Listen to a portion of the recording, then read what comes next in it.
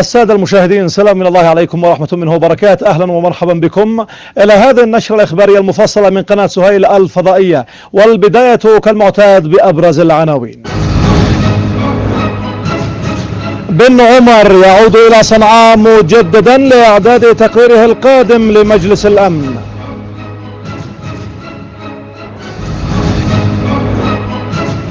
البيضاء تشكو العطش والثورة السلمية تعيد رياضة حجة إلى الواجهة.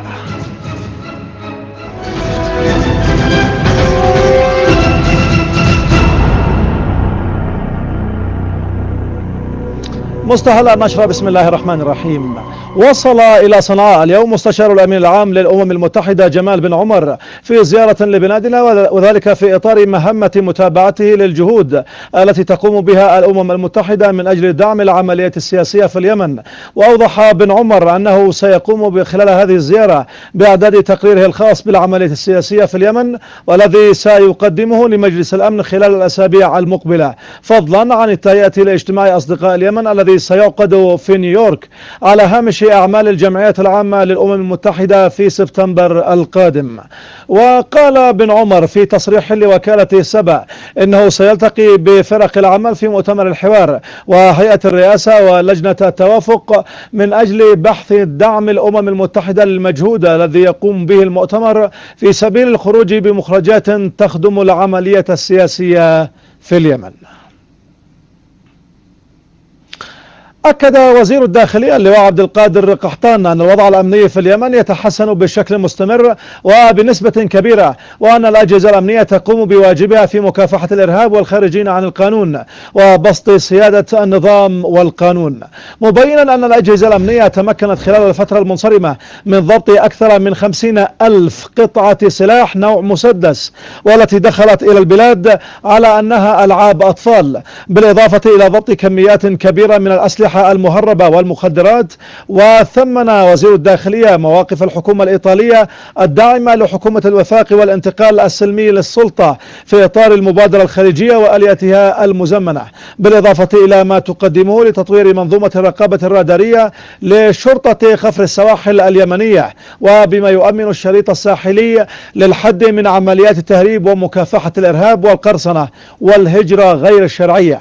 جاء ذلك خلال لقائه مع نائب بوزير الخارجية الإيطالي لابو بيستيلي والوفد المرافق له الذي يزور اليمن حاليا.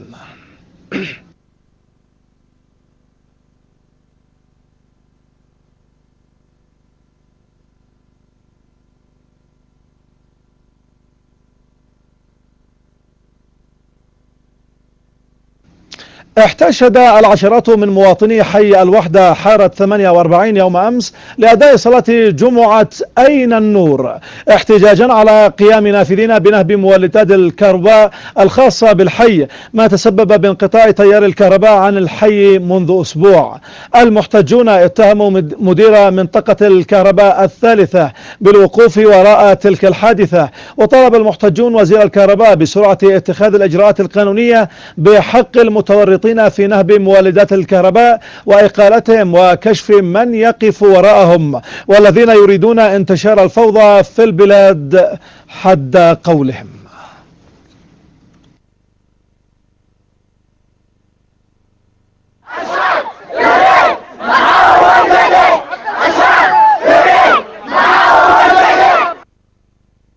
افتتح اليوم بصنعاء أو افتتح اليوم بصنعاء وكيل وزارة الأوقاف لقطاع الحج والعمرة. محمد محمد الأشول ورئيس الوفد القطري الزائر اليمن برئاسة عائض بن دبسان القحطاني. رئيس مجلس الأمناء والمدير العام لمؤسسة راف القطرية الخيرية مسجد سالم راشد الهاجري بالعاصمة صنعاء بتكلفة 550 ألف ريال قطري والذي نفذته جمعية الإصلاح الاجتماعي الخيرية. وعبر رئيس الوفد عن شكره وتقديره للسلطات اليمنية على تقديم كافة التسهيلات الممكنة في الجوانب الإدارية والقانونية وكذلك في العمل الإنساني الخيري لمؤسسة راف الخيرية باليمن.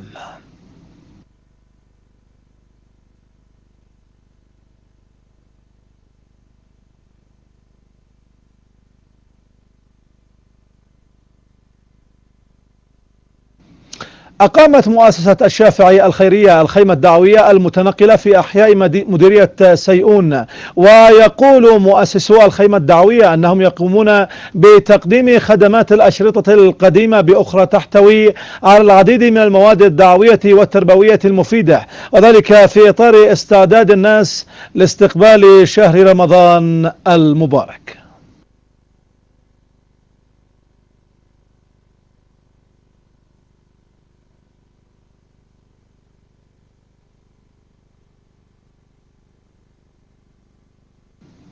إلى مدينة البيضاء حيث يعاني أهالي وسكان المدينة من شحة المياه وزحمة الطوابير على الآبار اليدوية المكشوفة وغياب المشاريع الحكومية للمياه. نتابع.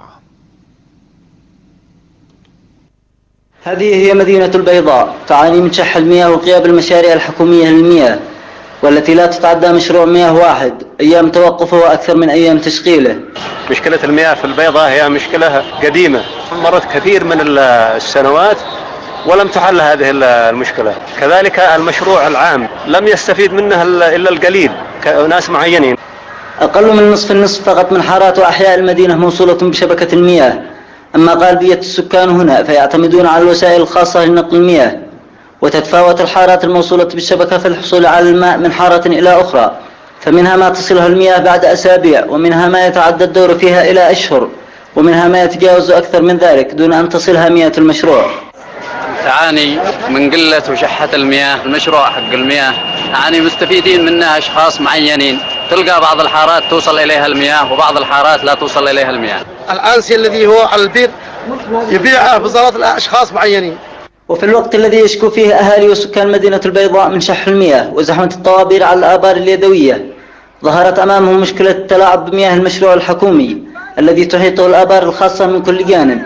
فبالإضافة إلى شح مياه المشروع وقلة ساعات تشغيلها المرتبطة بتشغيل الكهرباء والتي لا تتعدى ست ساعات فقط. يتم بيع مياه المشروع لأصحاب الناقلات والخزانات الخاصة. هذا دير الدولة فيه المواطنين الخاصين. يعني يبيعوه الأشخاص والمواطن لا يدوش جينا وإنهم في البواجه قدامك. يبيعوا والمدينة وأهل المدينة لا يموتوا ظمأ.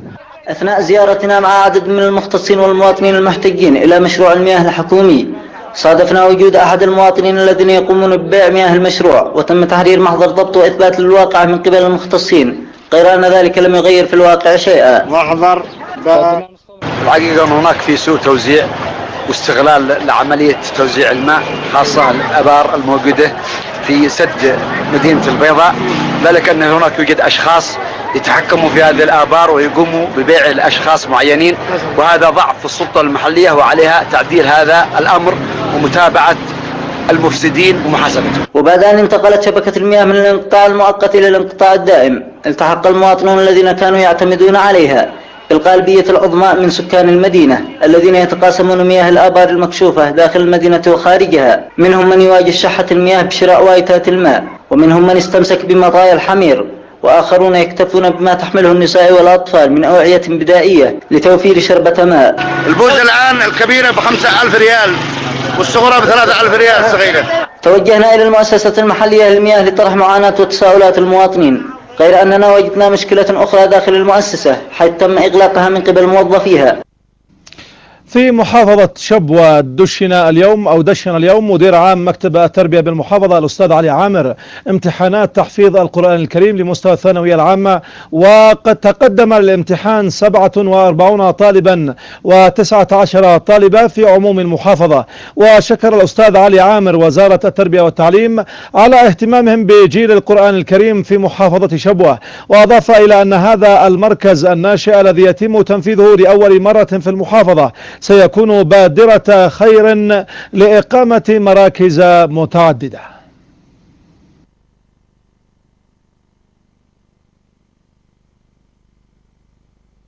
هذا اليوم أن ندشن امتحان تحفيظ القرآن الكريم لمستوى الثانوية العامة في محافظة شبوة وهو يعتبر مركز ناشئ في محافظة شبوة وأول مرة في محافظة شبوة يتم عمل مركز امتحاني لحفاظ القرآن الكريم في مستوى الثانوية العامة. واليوم يتقدم للامتحان 47 طالبا و19 طالبة. ونتمنى إن شاء الله أن تكون هذه بادرة خير وأن تكون نواة لمراكز متعددة في محافظة شبوة ما زلنا أيضا في شبوة حيث دشن اليوم الأستاذ أحمد علي بحاج محافظ المحافظة.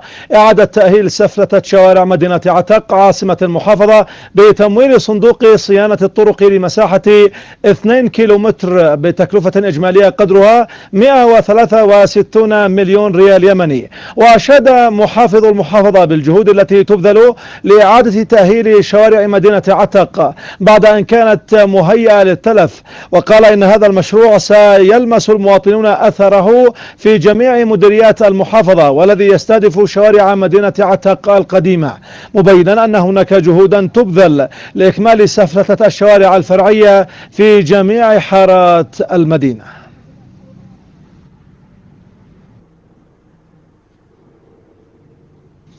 وفي الوقت الذي تعطلت فيه كافة الأنشطة الرياضية لمكتب الشباب والرياضة بمحافظة حجة وضاعت فيه المواهب نتيجة إهمال السلطة المحلية وتهميشها للكوادر والطاقات. تبزغ بوادر أمل جاءت من رحم الثورة الاتحاد العام لشباب كوعيدنا نموذج للاهتمام بالشباب وتفعيل الطاقات. نتابع.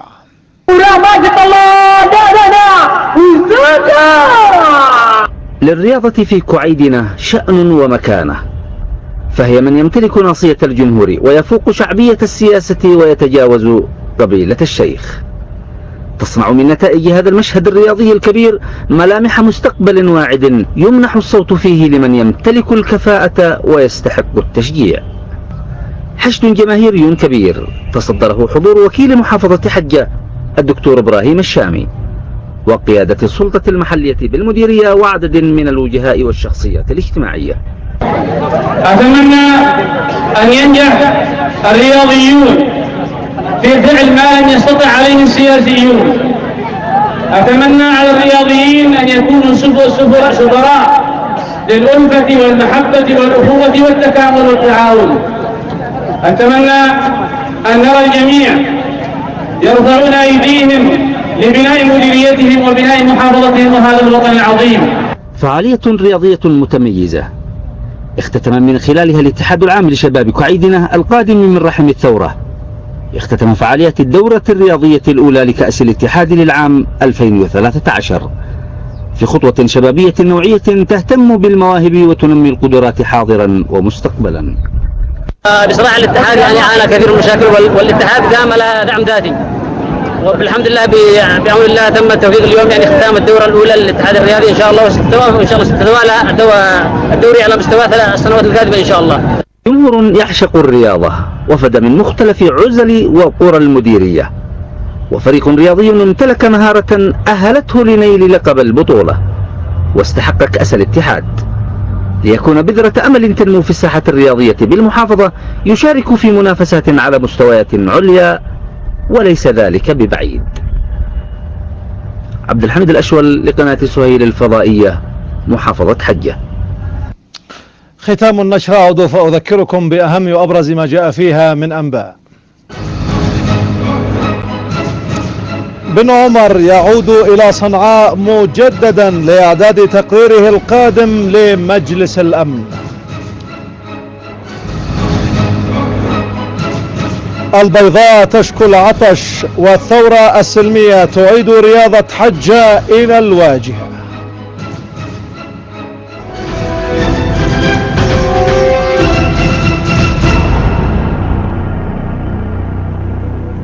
والمزيد من الأخبار ومتابعة برامجنا على قناة سهيل الفضائية. دوما زوروا موقعنا على الإنترنت سهيل دوت نت. كما يمكنكم أيضا زيارة صفحاتنا على مواقع التواصل الاجتماعي. دمتم في رعاية الله وحفظه والسلام عليكم ورحمة الله وبركاته.